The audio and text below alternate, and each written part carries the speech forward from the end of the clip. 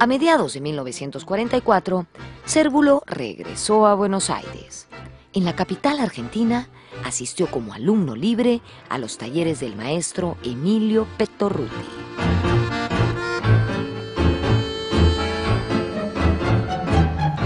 Cérvulo saca lecciones muy claras eh, sin dejar de ser figurativo en Argentina, es decir, sin dejar de ser pintura que representa la realidad.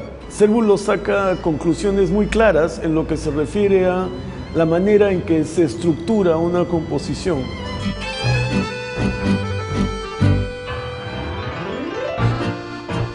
De esta época en Argentina provienen sus conocidos cuadros de techos y riachuelo de Buenos Aires y techos de Lima.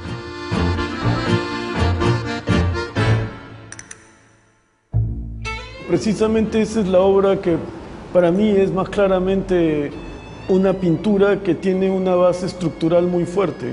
Hay una geometría en los techos que está claramente calculada y los colores son, son limpios pero están engamados, es decir, en ningún momento son, digamos, colores que fuerzan eh, su intensidad al punto de la estridencia. Es una composición muy pensada, la de los techos. No es espontánea, eso es lo que quiero decir. Cuando digo que Cérvulo en Argentina empieza a pensar la pintura de una manera distinta, a lo que me refiero es que entiende cabalmente qué cosa es una composición y cuánto de pensamiento tiene que entrar en ella.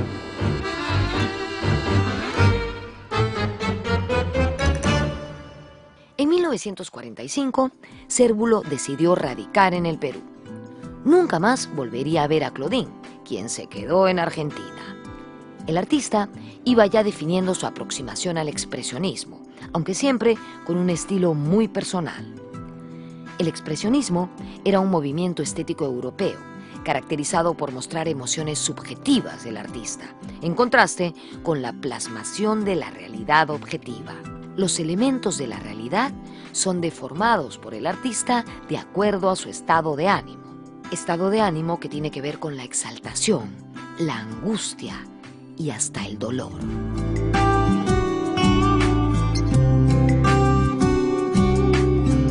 El desarrollo del proceso plástico en Cérvulo es un cuestionamiento constante de qué es la pintura y para qué sirve, ¿no?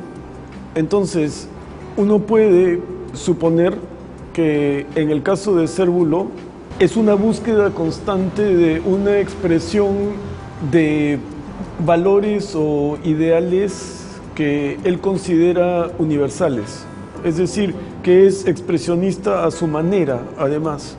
Eh, pareciera ser que esa es una característica interesante de eh, la pintura en el Perú.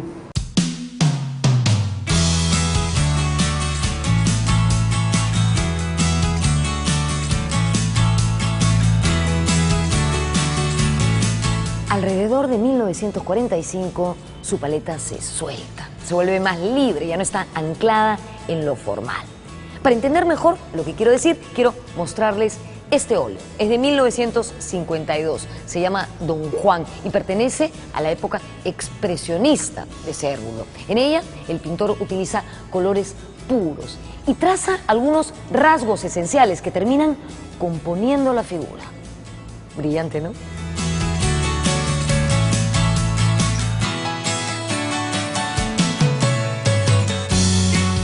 En su expresionismo llega a un punto en el que podría haber pasado a la abstracción, eh, que es el momento de los paisajes de los años 50.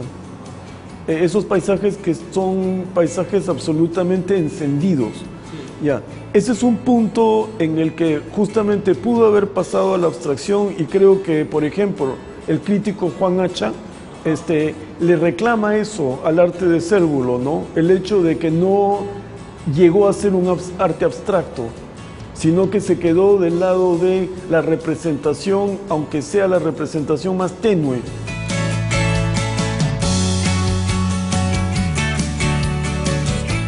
En 1948, el destacado periodista Alfonso Tealdo publicó en la revista Gala un reportaje sobre Cérvulo. El artista fue ganando celebridad y popularidad a todo nivel. En los años 50, Cérvulo era la figura principal de la bohemia limeña, cuyo epicentro se concentraba en la elegante Plaza San Martín. Bares, cafés y restaurantes de la zona congregaban a artistas, periodistas, arquitectos y políticos.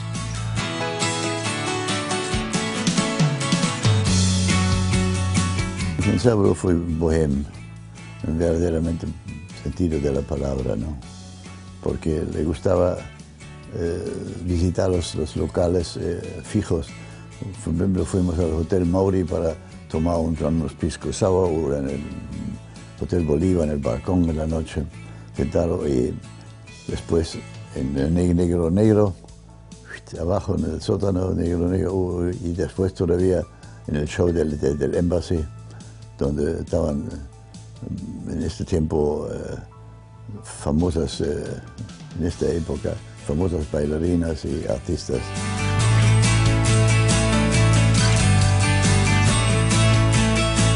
Cérvulo compartió esas noches de bohemia con una mujer atractiva y vanguardista la mítica periodista limeña Doris Gibson.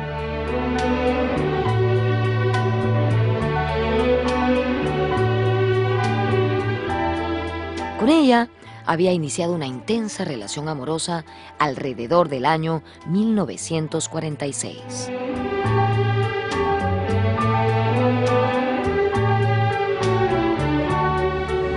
La atractiva periodista Doris Gibson caló profundamente en la vida de Cérvulo Gutiérrez. Ambos fueron compañeros de Bohemia y escandalizaron a la conservadora e hipócrita sociedad de entonces. ¿De entonces? Yo creo que nuestra sociedad sigue siendo un poquito conservadora y un poquito hipócrita. ¿No creen? Tal vez esto se deba a que me estoy desviando del tema. Cérvulo y Doris pasearon su amor por distintos bares de Lima, como el Bar Cela o el Bar Negro Negro, que quedaban muy cerca a la Plaza San Martín, más o menos por donde estoy yo ahora. Tal como en el caso de Claudine Fitte, Doris Gibson fue la musa inspiradora de Cérvulo. Él la pintó en muchísimas ocasiones.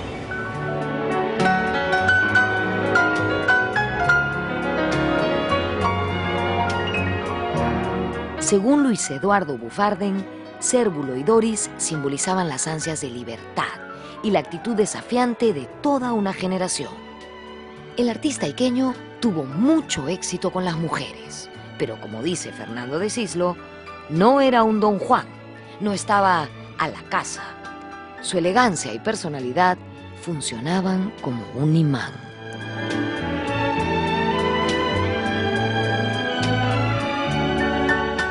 Tenía mucho éxito, estaban atrás de él, eh, es increíble, ¿no?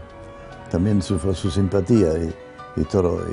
tenía una amiga infalible desde el principio, eh, fue la Doris Gibson, ¿no?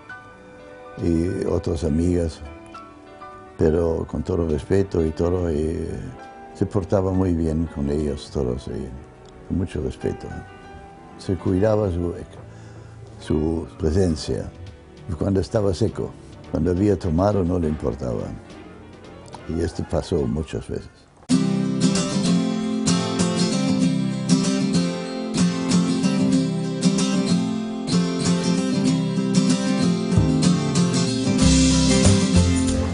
Desde mediados de los años 50, Cérvulo frecuentó el bar-restaurant Dominó, que quedaba en el Girón de la Unión, más o menos donde hoy se ubica la Galería Bosa.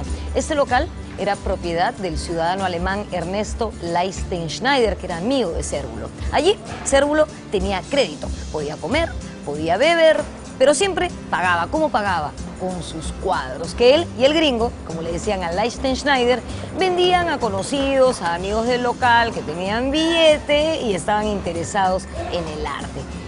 Uno que siempre le compraba obra a Cérvulo era nada menos que el empresario italiano Luis Donofrio, ¿Le suena el nombre? Obvio, pues, el de los helados. Él fue un gran mecenas de Cérvulo Gutiérrez.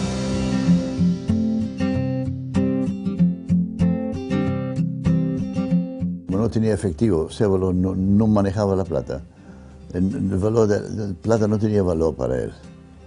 Entonces cuando los vales y los gastos en el local subían mucho, eh,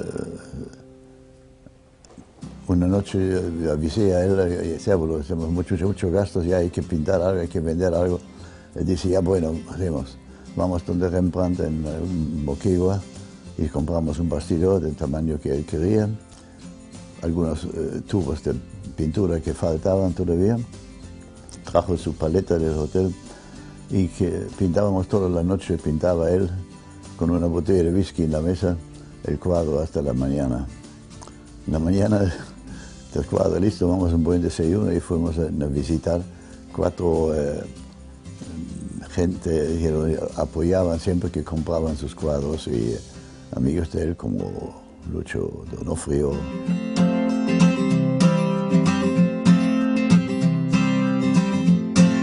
Cérvulo Gutiérrez realizó retratos de Luis Donofrio y su esposa. El empresario italiano solía recibir al artista en su propia casa. Cérvulo era un hombre carismático y amiguero que compartía con personas de todos los estratos sociales. En los años 50, Cérvulo viaja a su natálica cada vez con más frecuencia. Disfruta en el sur chico de la vida más sosegada y del cálido trato de sus paisanos. En el Hotel Salvatierra de la Huacachina, propiedad de su amigo Enrique Orihuela, Cérvulo realizó varias pinturas murales que hasta hoy subsisten, pero que lamentablemente corren el peligro de desaparecer si no son debidamente conservadas.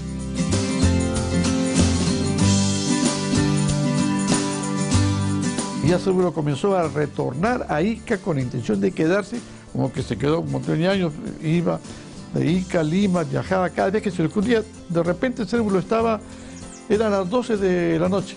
Algunos choferes de la Plaza San Martín eran sus amigos, lo conocían. Entonces Cérvulo lo agarraba y le decía, a ver, llévame a Ica en este momento. Pero don Cerulito, son las 12 de la noche, no importa. Taxi expreso hasta Ica. Y así iba a la hora que se le ocurría.